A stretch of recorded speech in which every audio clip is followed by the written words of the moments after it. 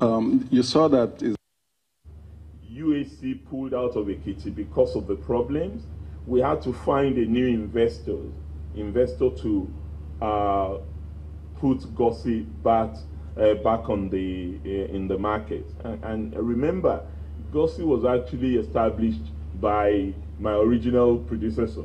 Uh, and in the period between his time in office and when I came, well, your guess is as good as mine. What happened to the uh, business space? Uh, but the fact that we could bring it back means that we do have a commitment to ensuring that the private sector thrives there because we did not resuscitate it as government.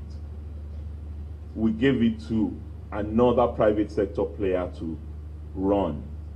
And the lesson that we've learned from our first time in office is that many of these initiatives, and I did say that in my presentation, that very soon we will come back to you with a whole range of our tourism assets that we want to put up for public offers. Because the lesson of the last period is that we put all the resources of government there, we try to manage it. It really doesn't work.